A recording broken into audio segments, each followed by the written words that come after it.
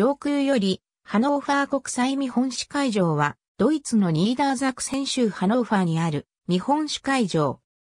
総面積約100万平方メートル、27の展示ホールを合わせた総展示面積は49万8000平方メートルで世界最大級のコンベンションセンターである。このうち1号館は7万3000平方メートルで世界最大の展示ホールとしてギネス世界記録に掲載されている。エルメスタワー第二次世界大戦以前にあった航空機の整備工場跡地に1947年に開設された。1956年から1958年にかけて展望塔エルメスタワーが建設された。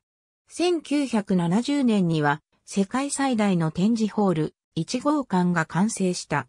ハノーバーバンコク博覧会アウトバーンに及びアウトバーン7が直結8790台分の駐車場がある。タクシーでは、ハノーファー中央駅より約20分、ハノーファー空港より約40分。ハノーファー中央駅より、ハノーファー LRT8 系統、18系統、または E 系統で約20分。